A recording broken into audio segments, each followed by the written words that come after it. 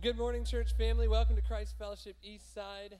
We're so glad that you're here. Good morning, Andrew. It's good to see you. Um, it's good to see the rest of you as well. It's beginning to feel a lot like summer these weeks, um, and the, the weather is changing. Um, school is coming to an end uh, shortly, if it hasn't already for you. And I love seasons of change because they just bring new opportunities uh, and new opportunities to uh, live in God's will, to wait on Him for His timing, to thank Him for His goodness, and to worship Him for He is good all of the time. If this is your first time here this morning, we want to welcome you. Uh, we're so glad that you're here. Hopefully, you got a guest card on your way in. Uh, we'd love for you to fill that out, basically just some name and contact information, because we want to follow up with you. We want to get to know you, um, understand uh, your story, hear your story, share our story with you, and basically just build a relationship. Um, and thank you for being here. We have a small gift for you um, in a blue bag uh, in the back. And so, if it's your first time here, thank you for coming. We're so glad you're here, and we'd love the opportunity to connect with you um, later on this week and in the coming weeks as well. At Christ Fellowship Eastside, we exist to multiply disciples to the glory of God. We do so by living connected, by pursuing Christ, and sharing good news. And we'll do those things even this morning as we worship our God who is always good. So I'm going to open with prayer, and then I'll invite you to stand together and we'll sing. God, we love you so much. We're thankful for who you are and what you've done. Lord, this morning, would you fill our hearts with joy and peace? Would you fill our hearts with satisfaction uh, that only you can provide? Lord, would you allow us to see past the things that are in front of us, the things that are on our minds and on our hearts this week, uh, this month, even, Lord, and, and, and just see your glory and see your plan at work in our lives. And Lord, give us strength and grace to trust in your plan for our lives. Lord, we love you. We praise you. It's in your name we sing this morning. Amen. Do you stand together as we sing, church?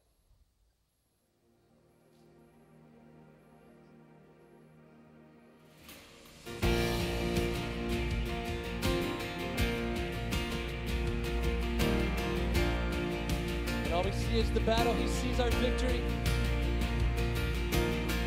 When all I see is the battle, you see my victory.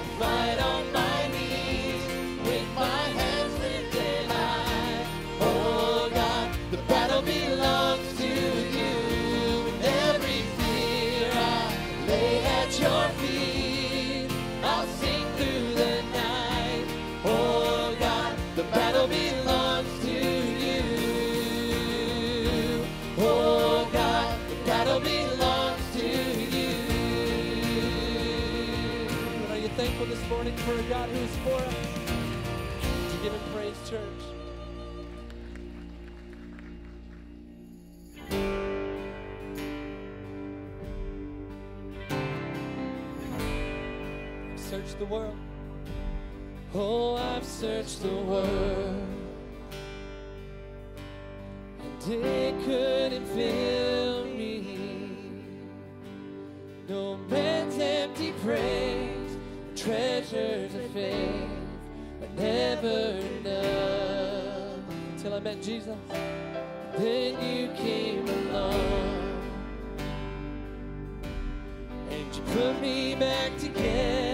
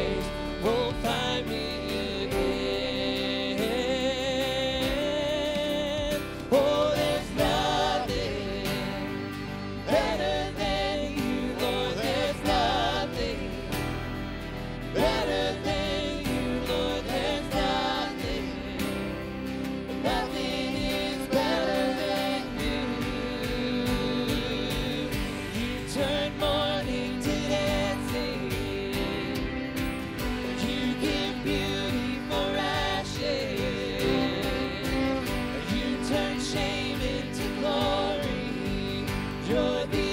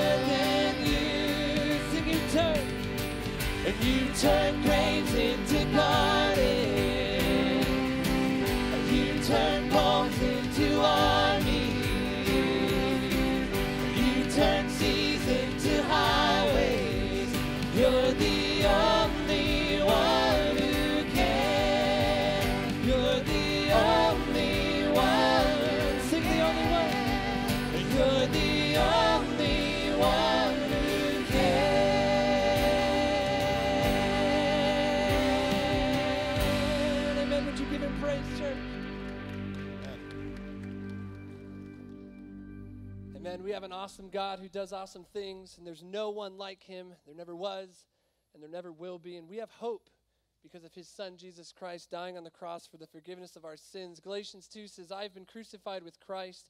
It is no longer I who live, but Christ who lives in me. And that's a good thing because it's not about our it's not about our, our works, it's not about our hopes and dreams, it's not about us striving or, or, or attaining or achieving. It's all about Jesus Christ and what he's already done. And the life that I now live in the flesh, I live by faith in the Son of God who loved me and gave himself for me. I want to sing a song this morning that we've done before, Yet Not I, but Through Christ in Me, packed with theology. Don't let these words just pass you by. Think on these words. Let these words affect your heart as we sing this morning.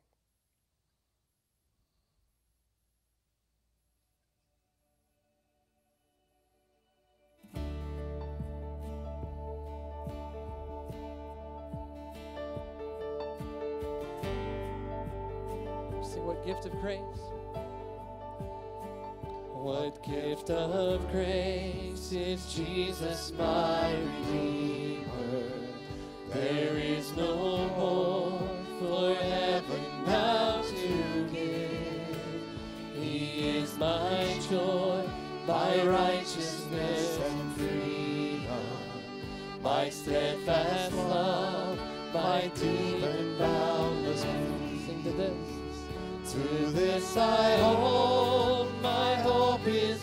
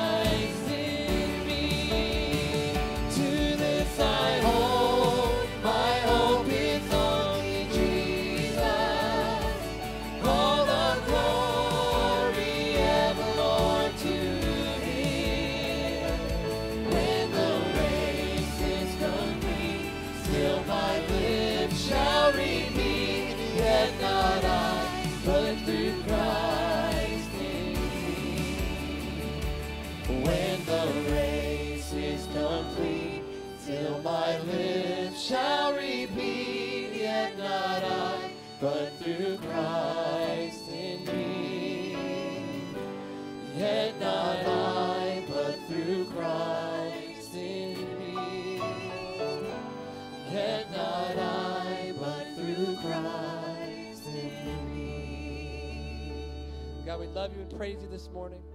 We're thankful that the life we live is your life through us, and your strength, and your power, and your hope. God, we love you. We praise you in your name this morning. Amen. Thank you, church. You may be seated. We also believe that it needs the support of the body of Christ to be carried out in the most efficient and effective way. Today we have two families desiring to dedicate their precious new children to the Lord. If you would, would y'all come on up?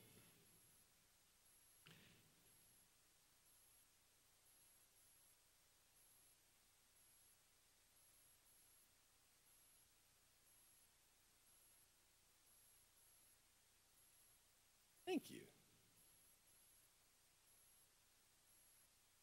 We have Danny and Dakota Beard with Kinsley, Evelyn, Riley, and Carson.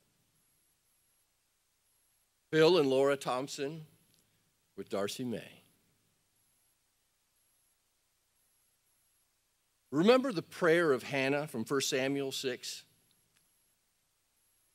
We've been going through the book of Samuel, and so I know it must be fresh on your mind.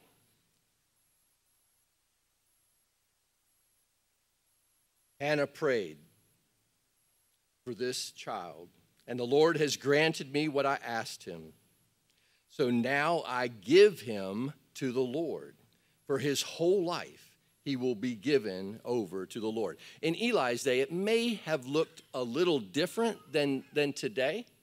I, I don't think Dakota and Laura are leaving these little ones in the gym and, and coming back a few times per year with some handmade clothes. But as parents who dedicate their children publicly, as Hannah did, these parents make the acknowledgement that children are a gift from the Lord and that their desire is that God will use their children in His kingdom and for His glory. In Ephesians 4, we have the Apostle Paul, after he chastises uh, dads for not provoking children, okay, he, he does say this Bring up your children in the training and instruction of the Lord. And as we, as a church, want to commit to come alongside these parents in that work. Now, I'm going to ask the parents uh, to respond to some questions, and I will ask our congregation to do the same. And the, the answer is I will, or you could just go on home now. Um, but that, that, that'll be the right answer. Okay, families. Will you commit to train these children by your teaching, actively communicating the truth of God's word to them? Congregation, will you make the most of every opportunity you might have to come alongside these parents in communicating the truth of the Word of God to these children? Families, will you commit to train your children by your example as you follow Christ wholeheartedly? I like this. Congregation, now, will you commit also to be godly examples for these children as you follow Christ wholeheartedly? One more, families. Will you pray for these children regularly and raise them in the fellowship of a church that obeys Christ and teaches His word? Congregation, will you pray for these children that they will come to know Christ at an early age and will you pray for these parents as they seek to raise them in the fellowship of a church that obeys Christ and teaches His Word? We're going to start that last one right now. Pray with me. God, we thank you for these young ones, Darcy and Carson, and we thank you that you've given them to their parents and the stewardship you've put over them to raise this image of you in the ways of you. God, would you see fit to take these young hearts, even these young hearts of stone, replace them with a heart of flesh that they might know and obey your statutes and that you would watch over them, call them to yourself, and make them your own children. Father, as these parents strive to do this in pleasing you, may a day never go by where they don't hear the very word of God read to them every day. May it wash them, Lord, and their eyes be open to come and see you who for you who you are. And may you grant repentance and faith to bring them into your kingdom. We pray this in Jesus' name. Amen.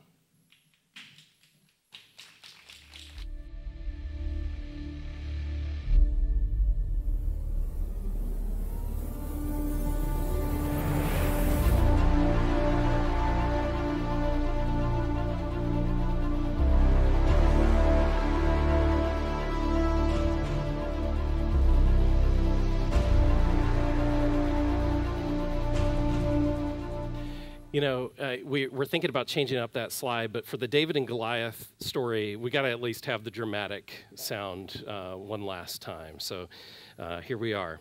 Well, good morning, folks. I'm Phil, one of the pastors here at Christ Fellowship Eastside, and uh, we get to study this morning one of the most famous stories in the entire Bible.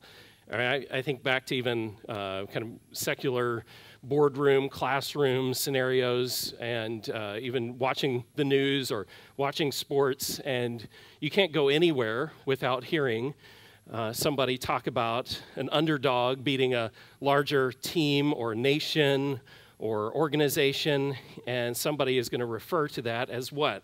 A David and Goliath story. Yes. And so that's what we get to look at this morning. And it's an impressive story that you might have heard explained in a number of different ways. And perhaps the way that we're going to handle this story is going to be a little different than you may have heard, uh, because there are two ways that are commonly used to approach this passage. Um, there, there are two ways that, that I think have some problems with them, and we'll try to chart a different path. The first way that it often gets approached is to externalize the story and to use it just in the way that I set it up a moment ago, which would be to say, you know, this story is all about how uh, God will often use the underdog. He'll, he'll use the, the guy that you would least expect to come through with an amazing victory. So, are you the little guy? Are you the one who struggles to get a date? Are you the one that lacks financial resources? Are, are you that guy? Well, God's going to come through for you big time. Don't, don't worry, just wait your time. That's the Malcolm Gladwell approach to this passage. Um, you know that, that feels really encouraging and uplifting. Said yeah i've got i've got a shot at this um, and, and that might be encouraging for some of you. Um, but it's not really the point of the story because the context if you remember our last chapter is all about how god doesn't look on the outside. God doesn't care about what's going on the outside. He only cares about the heart. And so to focus it on the outside the big giant versus the small shepherd or the modern armor versus the ancient sling uh, is to miss the point. God has made clear that He doesn't look on the outside, just the heart. So the external approach is shallow at best. Uh, the other approach is to moralize this and to look at this and say, well, you know, we, we want to aspire to the bravery of David. You know, carpe diem, seize the day, run after the giants in your life, go take them down. God's with you. God's going to help you beat all the giants in your life. God's going to bless you and they will be destroyed. But really, when you look at this passage, there is something vastly unique about what's going on here. There's something very unique about the ministry and life of David, even the fact that he goes into one on one combat with Goliath. And in fact, even to, uh, to, to moralize it in this way and say, you know, this is all about digging deep and really discovering yourself and your, your true identity and your bravery and your boldness. Well, you know who actually discovered that in this chapter as well? Goliath. Goliath was big and strong and brave and, you know, went out into the valley too. So um, to, to moralize it in that way is to, again, miss the point of the story. Uh, so what I want to suggest this morning is probably a, a much more encouraging way to even think about this passage. And that is to look at the spiritual dimension behind this passage. And so we're going to read I know it's a long chapter, but 1 Samuel chapter 17. The Philistines gathered their forces for war at Socoh in Judah and camped between Socoh and Azekah in Ephes Damim. Saul and the men of Israel gathered together and encamped in the valley of Elah, and they lined up in battle formation to face the Philistines. The Philistines were standing on one hill, and the Israelites were standing on another with a ravine in between them. Then a champion named Goliath from Gath came out from the Philistine camp. He was nine feet nine inches tall and wore a bronze helmet, the bronze scale armor that weighed 125 pounds. There was a bronze uh, armor on his shins and bronze javelins slung between his shoulders. His spear shaft was like a weaver's beam. The iron point of the spear weighed 15 pounds. In addition, a shield bearer was walking in front of him. He stood and shouted to the Israelite battle formations. Why do you come out and line up in battle formation? He asked him. Am I not a Philistine? Are you not servants of Saul? Choose one of your men. Have him come down against me. If he wins in a fight against me and kills me, we will be your servants. But if I win and against him and kill him, then you will be our servants and serve us. Then the Philistine said, I defy the ranks of Israel today. Send me a man so we can fight each other. Then Saul and all Israel heard these words from the Philistine. They lost their courage and were terrified. Now, David was the son of the Ephrathite of Bethlehem of Judah named Jesse. Jesse had eight sons, and during Saul's reign, he was already an old man.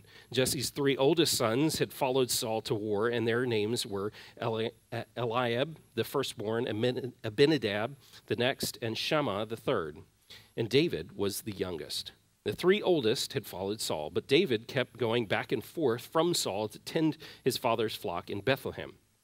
Every morning and every evening, for 40 days, the Philistine came forward and took his stand. One day, Jesse uh, told his son David, Take this half bushel of roasted grain along with 10 loaves of bread for your brothers and hurry to their camp. And also take these 10 portions of cheese to their field commander. Check on the well being of your brothers and bring a confirmation from them. They were with Saul and all the men of Israel in the valley of Elah fighting with the Philistines. So David got up early in the morning, left the flock with someone to keep it, loaded up, and set out as Jesse had charged him. He arrived at the perimeter of the camp as the army was marching out to its battle formation, shouting their battle cry.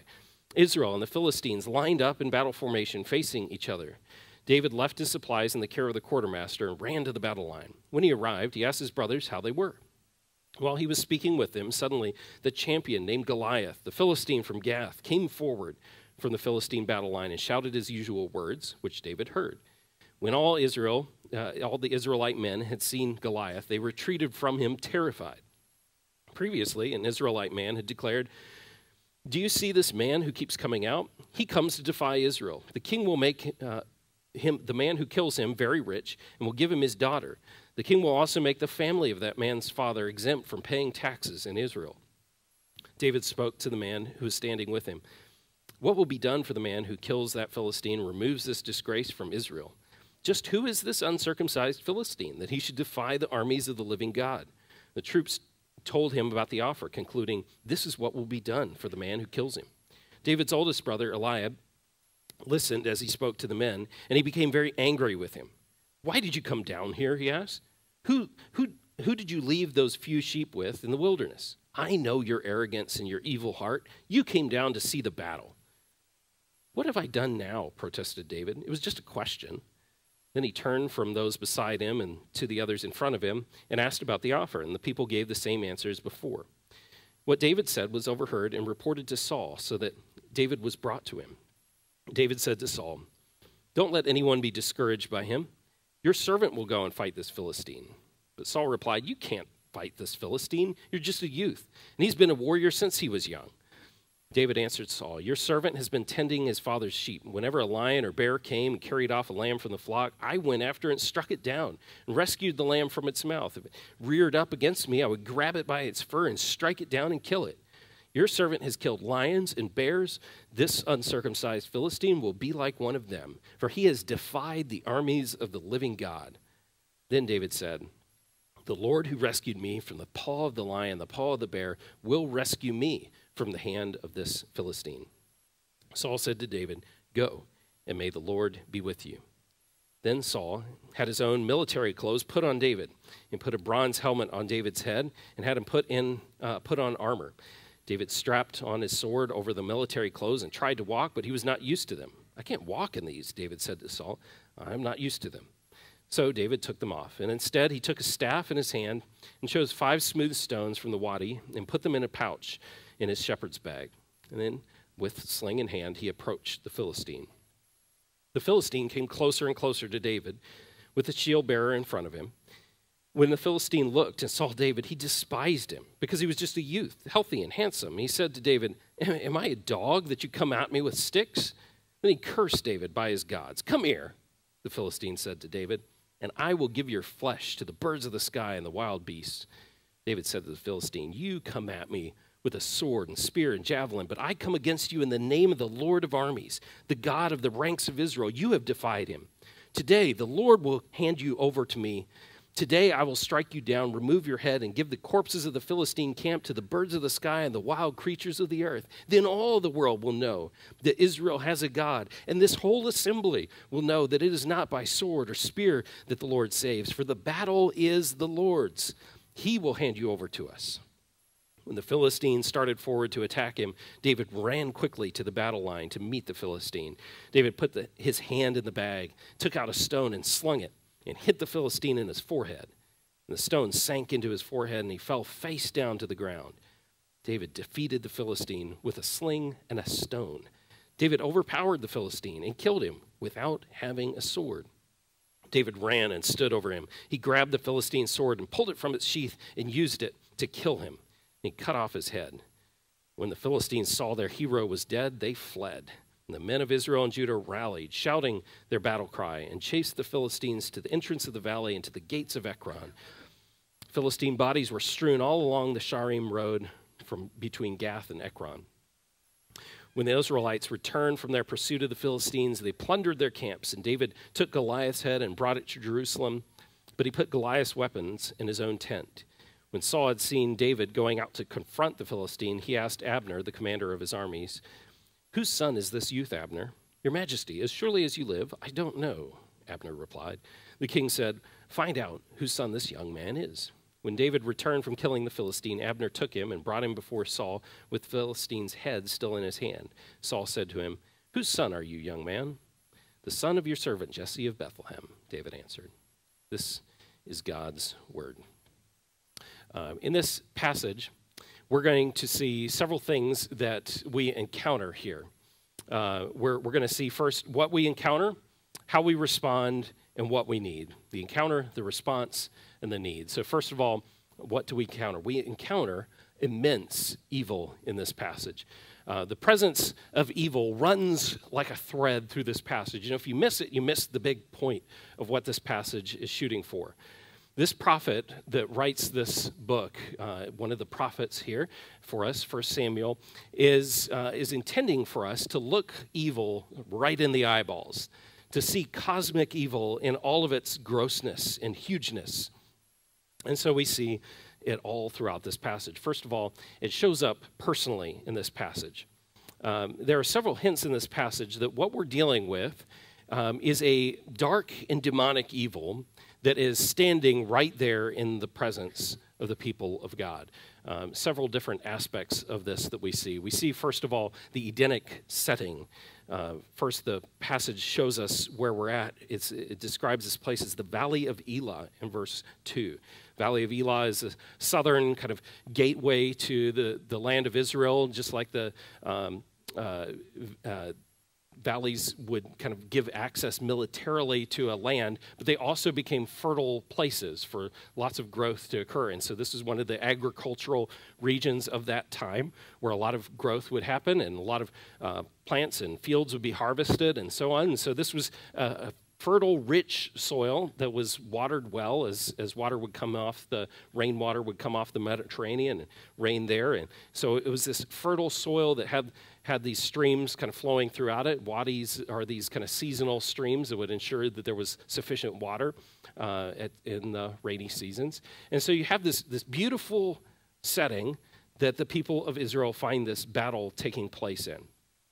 But secondly, we see this gigantic man that appears in the middle of this lush, beautiful area, this garden like location. Uh, and depending on which text you have, it, it, varies from probably between seven feet and nine feet tall, somewhere in there. The, the idea being this guy is huge. He's a massive dude that shows up here on the scene. Um, it would, he, you know, even, even Saul, who stands head and shoulders over all of Israel, is intimidated by this big dude. And you want to know how big he is? He carries, it says, 125 pounds of armor. Everybody agrees on that. And that is a lot of weight. Uh, I think about uh, the typical army rucksack is about 50 pounds or so.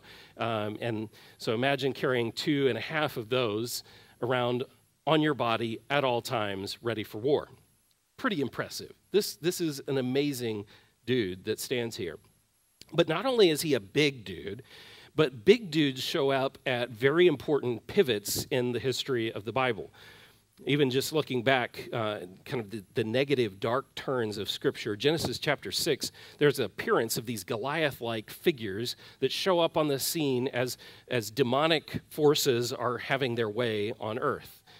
And even in Numbers chapter 13, there are these spies that go into the land of Canaan. The people of Israel are wondering should we go in and take God's promised land or not? We've been uh, out in the wilderness and we're trying to figure out if we should cross over or not. And when they go to spy out the land, what do they encounter? Giants in the land. They encounter these big dudes in the land. What do they do? Their response is to turn away from God's promised land and go back out into the wilderness. Again, they're punished for their sin of rejecting God's good land because of the fear of these these giant monsters. They're freaked out by these evil child killing worshippers that have these giants on their side. This, uh, you, can, you can just see this, this darkness of evil that is pervasive in the land that they're about to enter. And so, there at the great two great turning points of Old Testament history, we find men of unusual size, M O U S's, uh, as it were, um, standing at those key critical moments. And then uh, another aspect here is, is this uh, armor that he wears. In verse 5, it says that he wore a bronze helmet and bronze scale armor that weighed 125 pounds. The, the, the word for scaly there is, one of, uh, is a very rare word in the Old Testament. And it actually refers to exactly what you think the, the scales of like a snake or a fish. Um, and, and that snake like armor is what Goliath stands in as he confronts the people of Israel. He, he approaches them as this giant serpent like figure, this Leviathan like figure in the middle of a garden. Interesting. And then, fourth, in verse 16, it says they were taunted by this man for 40 days and 40 nights. Now, on, on, just a surface level, that's a long amount of time for this battle. You know, you got you got a bunch of troops that you have to sustain them on either side of this ravine, and they're constantly just doing this dance for 40 days as this this monster guy comes out every day and taunts them in morning and, and at evening. And so, the, but but not only is it a lot of days, but the significance goes much deeper because at each of those two turning points in Israel's history that number 40 is actually very significant. So, what is it that God used to wipe away the giants of Genesis chapter 6 that showed up on the scene? Well, 40 days and 40 nights of rain. What was it that um, culminated in the discovery of the giants when Numbers chapter 13, when they go into the land and they see these giants? It's 40 days of spying and accompanied on either end with 40 years of wilderness wandering on either side. So it's, it's a very significant moment here for the people. It's a, it's a symbol of God's testing of the people. What are, what's going to happen here in this critical moment? Are you going to pivot back into disobedience and there will be judgment? Or are you going to turn to my salvation and find rescue? And then there's the climactic end of the giant. His head is severed from his body, as every teenage boy loves the story of David and Goliath for. You can't skip verse 51. Um, and it, it, actually echoes back to a story that we already covered in 1 Samuel chapter 5. Do you remember which story that was where there was a great decapitation? Anybody remember? There was, there was the story of the Ark of the Covenant in the temple of who?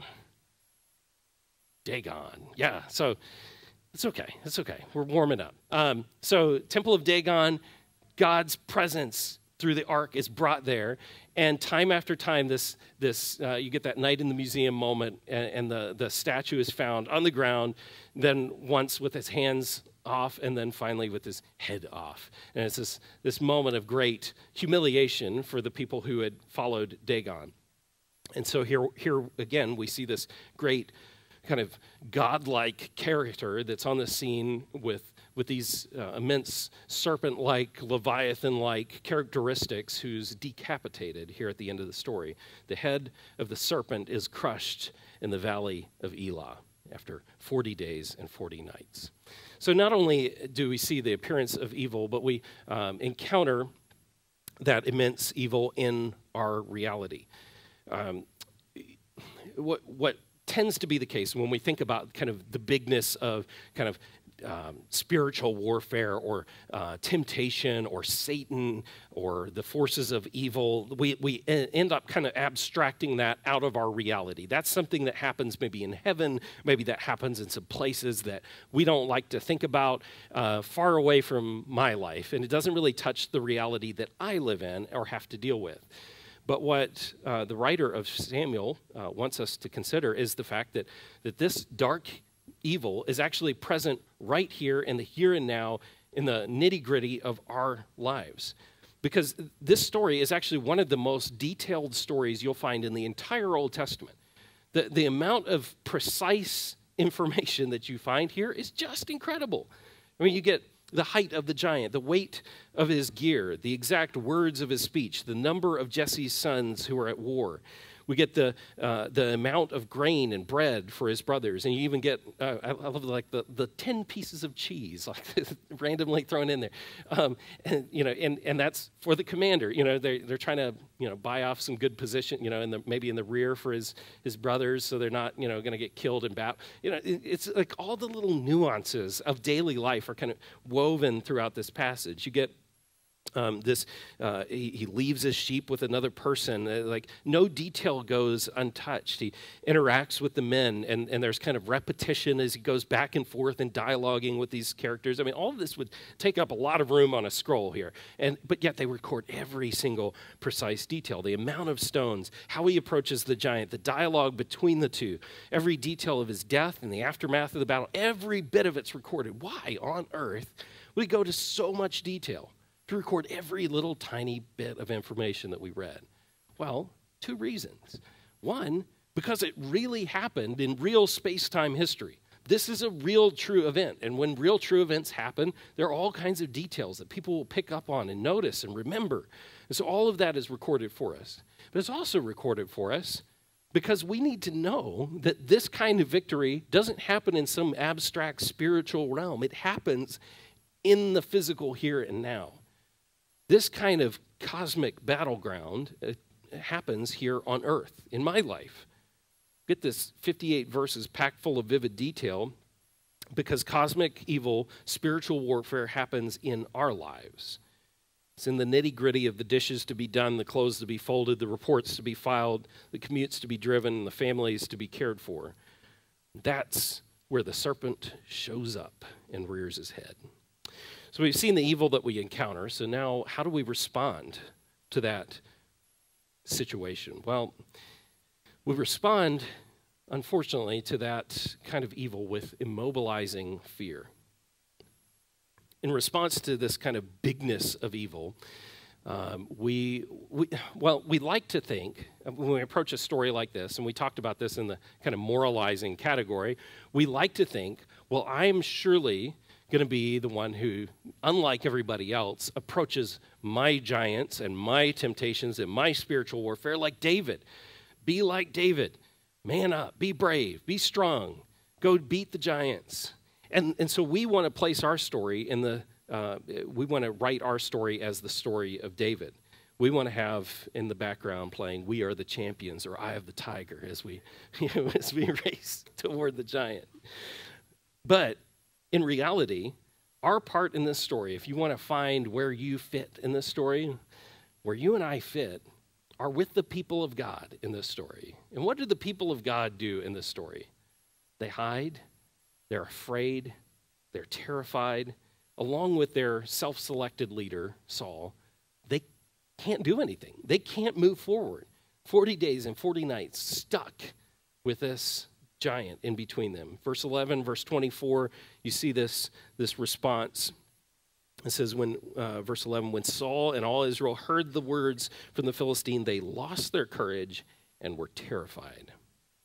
You think, well, how dare they? uh, I mean, when you're, when you're faced with a monster from, uh, with, from the forces of evil from beyond this earth, when you're, when you're faced with something that comes from the upside down, come into Hawkins, uh, you better be terrified. Like, this is, this is not good. This is a bad scenario that's about to go down. And, and to, to look at them and say, wow, you know, how dare they? Uh, I think demonstrates a, a, an immense amount of arrogance on our part. They're encountering a sort of evil that should paralyze us, if we're honest. And so for some of us, we we face similar situations where we run into those immobilizing fears. Eventually, there'll be some form of temptation that will reach into your life, some kind of uh, immense evil that will break in and leave you paralyzed as well. For some of you, it may be a spiritual temptation, some kind of battle that you deal with uh, in regard to sin that just is absolutely unbeatable for you. You find, uh, found ways to try to confront it, to pursue counseling. You've prayed. You, you've, you try to be consistent with your Bible reading. You're, you're part of a faithful, uh, faithful member of a church. You've done everything you can think to beat this sin, and you simply can't catch a break. And like the children of Israel, that what feels like 40 days and 40 nights stretching on to 40 years of wandering in the wilderness, the temptation just makes you say, I can't shake it. And for others of you, it might be uh, a looming mental health condition that just hangs on you like a fog. You prayed over it, tried different prescriptions, but it just won't lift. Or it might be some personal crisis, maybe a crisis even within your home or extended family, where a dark evil has eclipsed your family. Everything that you hold dear is, is, is being contested. Your relationships with your kids, your parents, your extended family is at a breaking point, and deep wounds have been afflict, inflicted. What used to be like a, a lush garden for you to enjoy is now the place that's contested by Satan. What do you do? Um, each one of us, when we are sucked into these places where we are confronted by spiritual battles, the forces of evil, where, where those who want to destroy our lives are present, um, often resort to our own devices, our own self appointed leadership, resort to the armor of King Saul to fight those battles. And like Saul does here, dressing up David, he finds himself completely inadequate to the problem. And just like that, we, we find our own willpower and our own resources uh, sufficient for a lot of things. I mean, if you think about it, King Paul, uh, King King Paul, wow, I, I just uh, keep keep mixing those guys up. Uh, it, it, but if you think about it, Saul had scored some victories wearing that armor. He had seen a lot of enemies defeated. He had been able to do some good things in that army with his resources, doing what he knew how to do. But at some point, he reached the end of those resources. He reached the end of his line of success. And he couldn't beat this enemy. And so it will be with us. At some point, we'll reach our Valley of Elah moment where we're confronted by an impossible obstacle, something that's brought about by our great opponent, the one who stalks us like prey, who wants nothing more than to destroy our life, the serpent himself, Satan. And what do we do at that moment? What do we do when we find ourselves at that valley of Elah moment? Totally stymied, unable to move forward by, a, by an opponent that's so much bigger and so much more powerful than ourselves. Well, that's, that's the part I love about the story, is that we need an improbable Savior. This passage is meant to lift our eyes to get our get our eyes not not not not just off of Goliath, not just off of the the weak and immobilized forces of Israel, and and to refocus us not just on David, but even greater, the son of David, that would bring into reality all that David stands for in this passage. The Holy Spirit superintended all of Scripture to connect these dots for us to show us the hope that we need for an improbable Savior to step in, the one that would be shocking, the one that would be the least expected one to step in and save the day against the backdrop of huge cosmic evil. So I want to look at several parallels in this passage that show us a connection between David and Jesus. First, we get this story of David coming on the heels of chapter 16. What happened in chapter 16? He's anointed by Samuel to be the next king of Israel. And immediately it says, after his anointing, he is filled with the Spirit.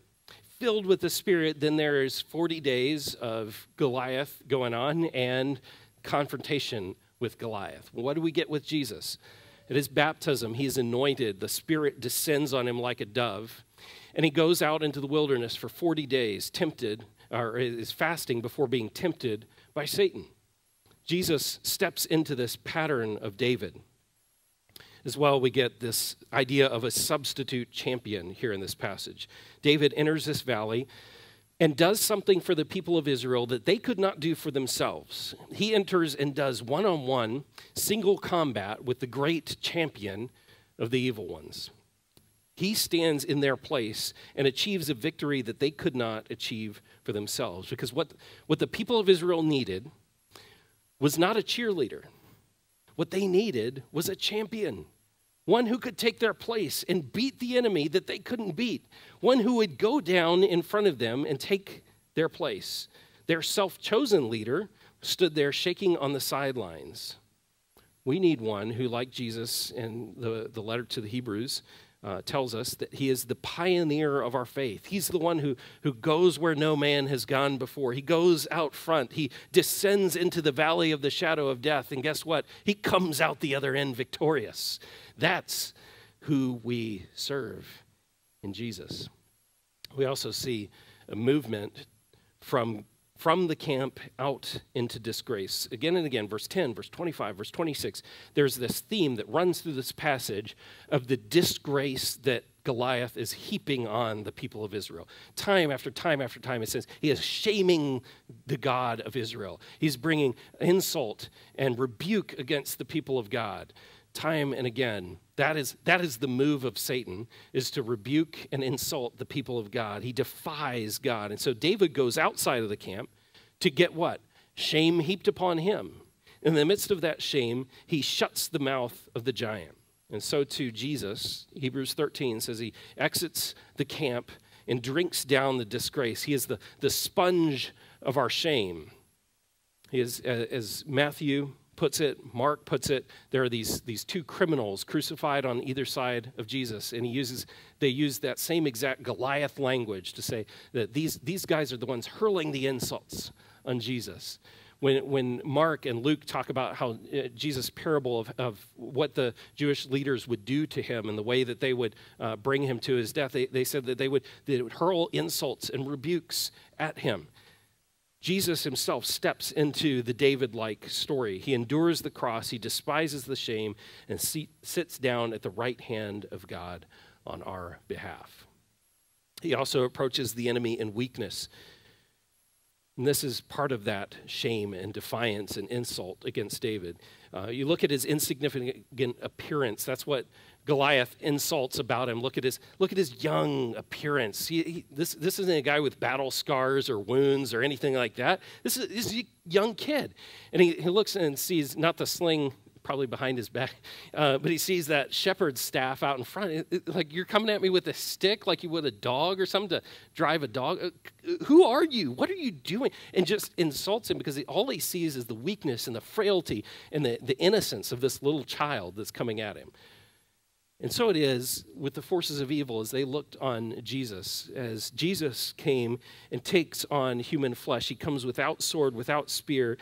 Immortality has taken on mortality. God has become killable in the person of Jesus as he comes near to us. And all of hell's forces look on that and say, ah, we can beat that. And there is that sense in Scripture to, to which even the angels, it says, try to peer in and understand what God is doing in our salvation. And certainly the, the forces of evil trying to understand and wrap their heads around this say, this is our chance. This is our time to rise up and take control. We'll take out the sun, and all will be ours. But it's a trap. The next thing is, is he comes, it says uh, in verse 45, he says, I come to you in the name of the Lord of armies, Yahweh Sabaoth. I, I am coming with, with all of the armies of heaven behind me that I come in his name.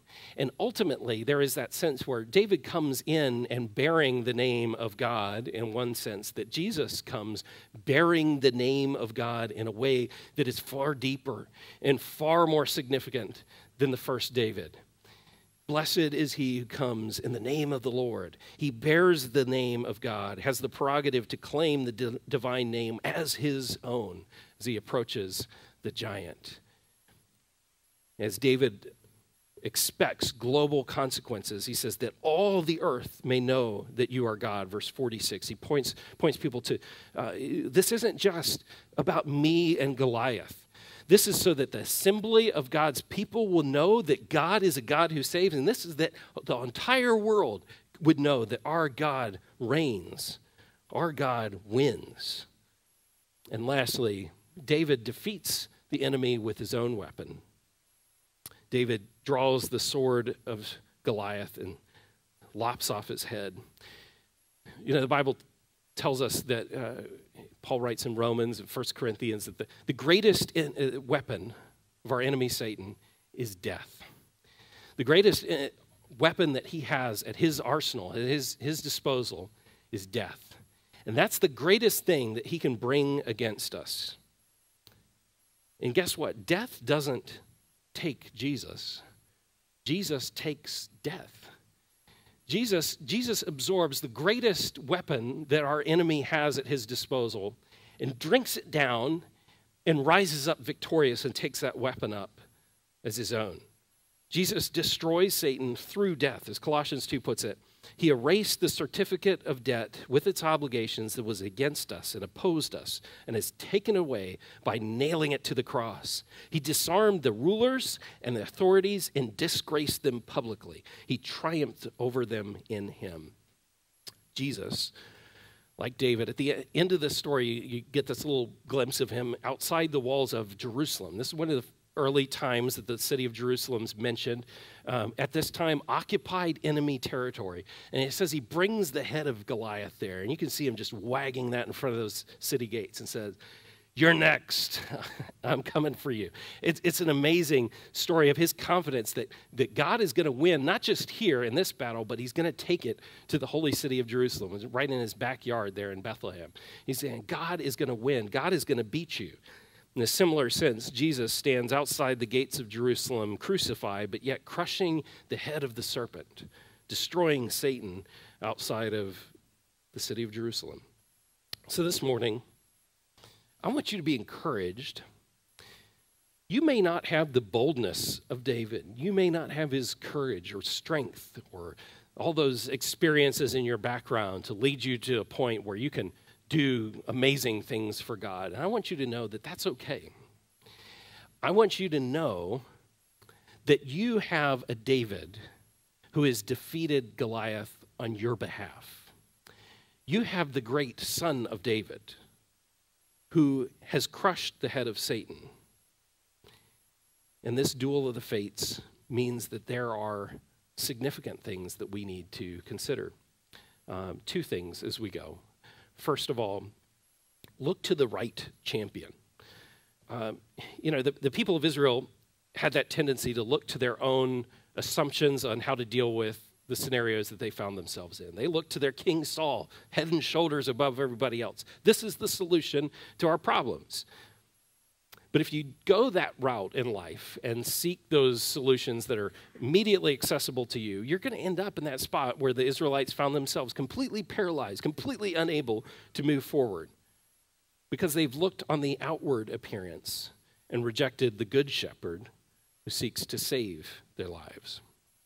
Look to Jesus the author and finisher of our faith, the pioneer of our faith. And secondly, fearlessly follow your champion. You say, well, Phil, you've, you've just totally sucked out anything that we can do with this passage. Uh, you, have totally taken out any kind of carpe diem moment for me that I really needed to go out and face the challenges of parenting, um, you know, uh, those, those sweet cherubs on Mother's Day. Um, and and I, I have nothing here to apply. Well, guess what? If you put yourself in the right seat in this story, you have something incredible to apply here. Uh, verses 52 and 53 describe the people of God, once fearful, knees knocking on one side of that ravine, doing what? They're out there chasing the enemy all the way to their gates. They're out there plundering their camps and doing all kinds of amazing stuff. How did that happen? How do you move from complete paralyzation with fear to out there chasing the enemies? You have to see the one who beat the enemy in front of you. You have to be able to go down into the valley following the one that already beat the giant on your behalf. They capitalize on the victory of David. They're able to say, yeah, yeah, not uh, who, who won this battle? Yet not, not we, but David won it for me. Just like we sing, Yet not I, but Christ in me achieves this victory. We run into the valley behind our great leader, our great champion. We're able to ransack the enemy and charge the valley because of the great pioneer of the faith who's gone down in front of us and beat the greatest enemy we could ever, ever face. In front of, in comparison to the great enemy of death that's been defeated, all those giants that we face are but grasshoppers. Every power that we face is puny in comparison. As Paul says in 1 Corinthians, the final enemy is death. And this is the enemy that's been crushed under the feet of Jesus. What more do we have to fear? Would you bow with me this morning as we reflect on this passage? This week, as some of you are reflecting and looking back or looking at the week ahead and the challenges that lay ahead for you, you may be feeling overwhelmed, even overwhelmed as you think of the task of parenting and raising up children to um, glorify God. It, it's, it's an overwhelming responsibility. And you, you face in these tasks an immense evil that seeks to destroy, to ravage, to ruin every good thing that God wants to do in your life and in those around you. And you feel paralyzed, as you probably should if you think about it seriously enough. And I want to encourage you this morning. I just I want to lift up your hearts with the, the message, the truth that is prophesied for us here in 1 Samuel.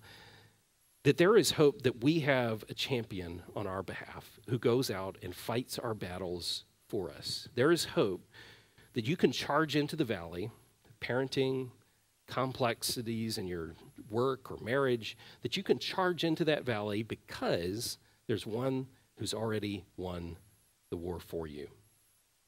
And of course, if you're struggling with this and wrestling through these challenges, I want you to know that there is a church here that wants to come around you and pray for you. Because we're honestly, like the people of Israel, knees knocking and not really knowing how best to deal with this ourselves, except in the power of our Savior, Jesus. We want to point your heart to Him and encourage you towards Him this morning. So, as we sing toward the end, feel free to come grab me or someone who brought you to the service this morning and ask how, how you can know that you have this champion, Jesus, on your behalf. Let's pray. Lord, we thank you that it's not I who wins, but Christ.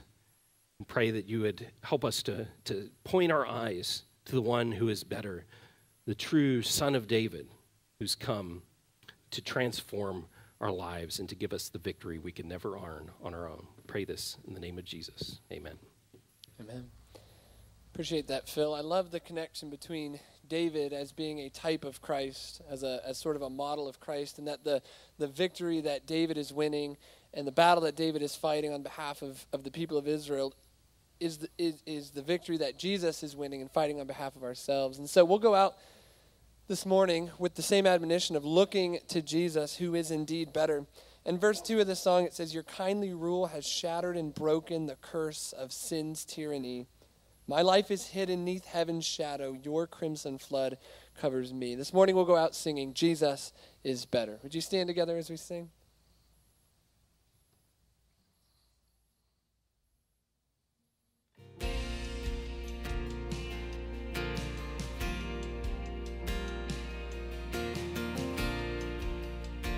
no other so sure and steady.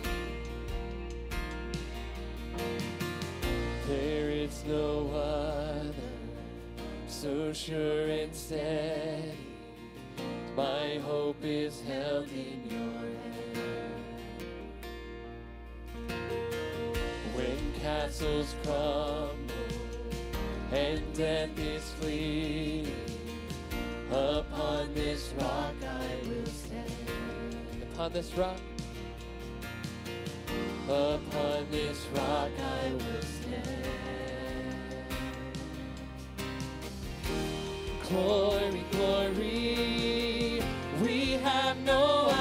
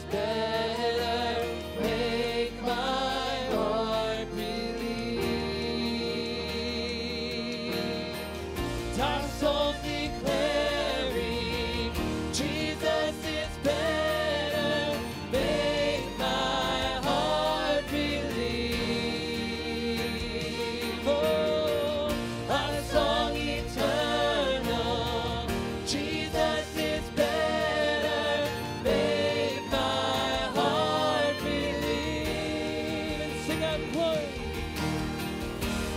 the.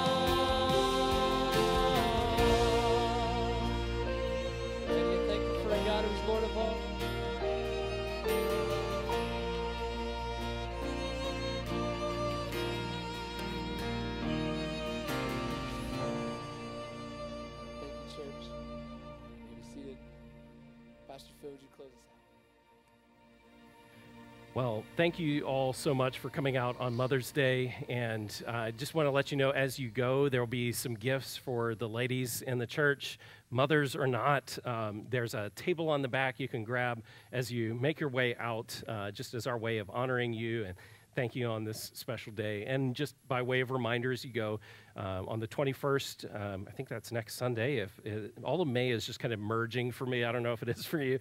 Um, 21st, we're having a quick parents huddle after the service, especially those that have kids ages five to fifth grade, just to to strategize a little bit on what we're doing and some ways that we're seeking to serve those kids in that category, um, especially in the fall semester. Um, as, as we go, I wanted to remind us of some words from Romans. Paul writes, Oh, the depth of the riches and wisdom and knowledge of God, how unsearchable are his judgments, how inscrutable his ways. For who has known the mind of the Lord, or has been his counselor, or who has uh, given a gift to him that he might be repaid? For from him and through him and to him are all things. To him be glory forever. Amen. Church, the gospel goes with you. Have a good week.